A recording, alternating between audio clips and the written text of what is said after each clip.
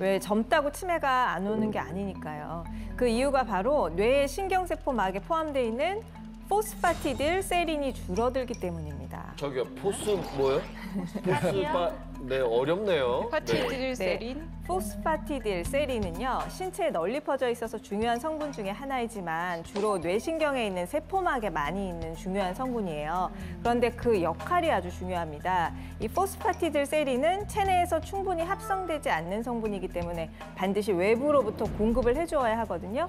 그런데 나이가 들고 뇌에 독소가 쌓이면 그 함량이 더욱 더 줄어들게 됩니다. 그래서 우리가 그 성분을 섭취해주면 되거든요. 오. 이 성분은 대두에 많습니다. 그래서 요즘은 대두에서 포스파티딜 세린을 추출을 해가지고 많이 나와요. 오. 그래서 그걸 섭취를 해주시면 좀 쉬운 방법이 될 수가 있어요. 그래도 다행이네요. 섭취하면 된다니까 그나마 다행이잖아요. 간단하게 그냥 먹어주면 되는 거잖아요. 그러니까. 근데 포스 파티 이렇게 외우면 돼요. 파티. 어. 포스 파티에 딜세린하고 같이 간다. 포스 파티 딜세린. 아니 뭘 알아? 포스파티 딜 세린 을 먹은 사람은 뇌세포를 보호해서 뇌 손상을 막아주는 효과를 보였다고 하는데요. 오, 잘 되겠네. 50세부터 90세까지 30명을 대상으로 대두에서 추출한 포스파티딜 세린을 매일 300mg씩 12주간 섭취하게 한 결과 네. 기억력이 좋아졌다는 오. 연구 결과도 있고요.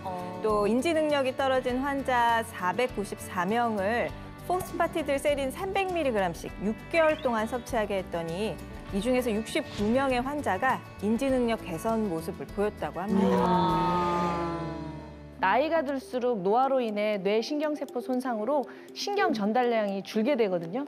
그로 인해서 젊었을 때와 다르게 100의 정보를 주었다면 30밖에 전달을 하지 못해서 자주 깜빡깜빡 하는 현상이 발생하게 되는데 포스파티딜 세린은 이러한 뇌 신경세포 손상을 억제해줘서 깜빡깜빡거리는 초로기 치매 초기 증상에 도움을 줄 수 있습니다. 어. 네, 포스파티딜 세린은요 뇌세포를 손상시키는 물질을 억제하는 데도 도움을 줄 수가 있는데요.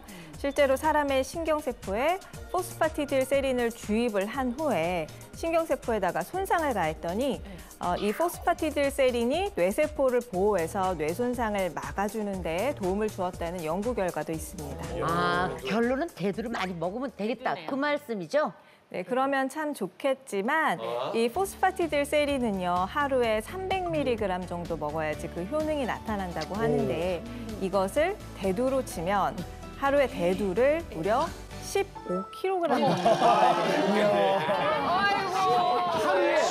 네. 그래서 최근에는 식약처에서도 포스파티딜 세린 성분을 뇌기능 개선 원료로 인증해서 건강기능식품으로 나오고 있습니다.